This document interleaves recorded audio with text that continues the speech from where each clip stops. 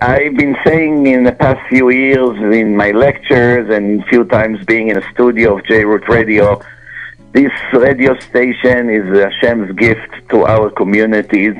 It's fantastic. It's doing an amazing job.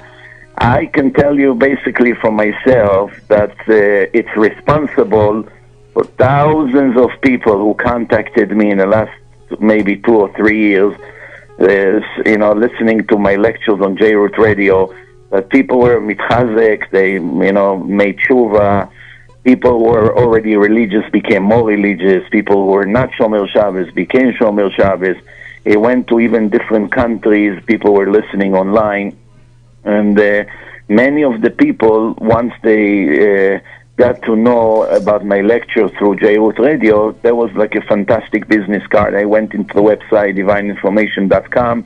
They were starting to listen to other lectures, and Baruch Hashem, it's a chain reaction.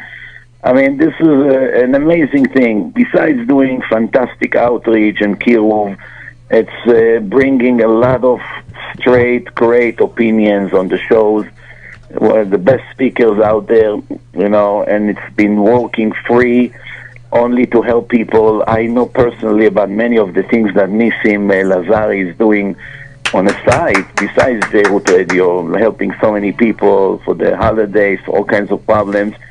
I mean, I don't find a better cause than this, to be honest with you. It's a fantastic investment. Everyone should invest their maaser money in this station is doing L'Shem Shamayim 100%. There was never any other thing besides L'Shem Shamayim. And uh, where else you find causes like this that are having everything in one?